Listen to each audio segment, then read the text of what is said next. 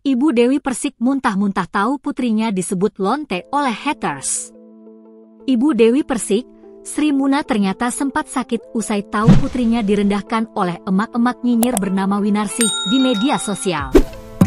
Sempat sakit saya, sempat darah tinggi, asam urat, kata Sri Muna bersama Dewi Persik saat tiba di Mapolres Metro Jakarta Selatan, Selasa, 29 November 2022. Bahkan menurut Dewi Persik, ibunya sampai sesak napas dan muntah-muntah gara-gara tindakan Winarsih pada sang anak. Mami saya setiap melihat itu yang sesak lah, yang sakit perutnya lah, yang muntah-muntah, yang ini. Saya jadi pusing sendiri, ujar Dewi Persik.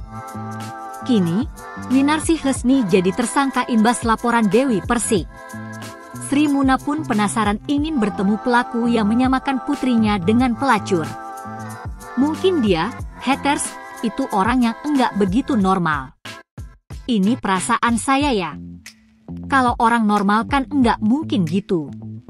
Apalagi enggak kenal, enggak mungkin ngomong seperti itu, imbuh Sri Muna.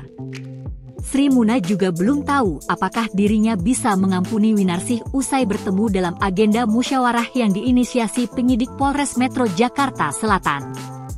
Nanti, saya kan belum tahu orangnya, gimana omongannya, ucap Sri Muna.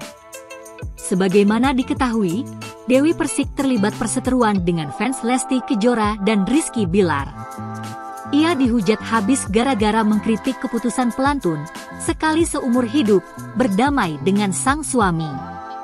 Sedang menurut versi Dewi Persik, dia hanya membahas seputar masalah KDRT dan tidak menyinggung Lesti Kejora maupun Rizky Bilar sehingga ia melaporkan beberapa warganet yang melontarkan kata-kata tidak pantas termasuk Winarsi pada 31 Oktober 2022.